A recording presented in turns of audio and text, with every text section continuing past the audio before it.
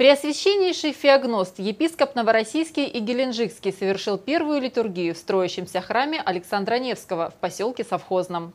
Там еще не завершены строительные работы, но служба состоялась. В этот день сюда пришли немало верующих славянцев.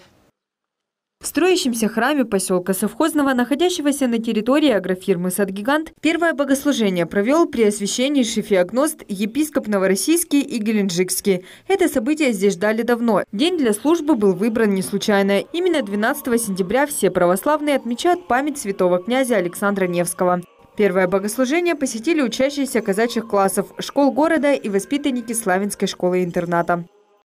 Сегодня день памяти благоверного князя Александра Невского, славного сына и князя земли русской, который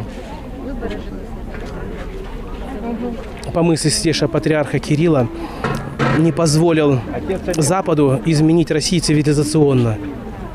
Он дружил с монголо-татарами, а Западом воевал. Почему?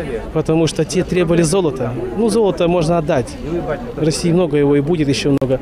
А вот Запад требовал наши души. Он хотел нас цивилизационно изменить, сделать нас католиками.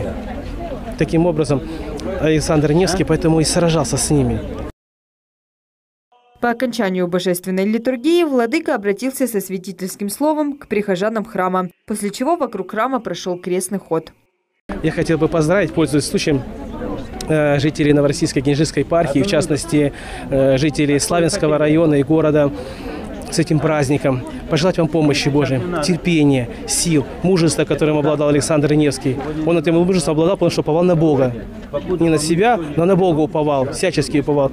И Господь его не посрамился в этом уповании и даровал, прославил его. Хочу пожелать вам мира, самое главное, мира душевного, мира семейного и мира общественного. Это великое благо, которое мы в свете вот событий с нашими соседями, мы понимаем, какое-то великое благо, мир. С праздником!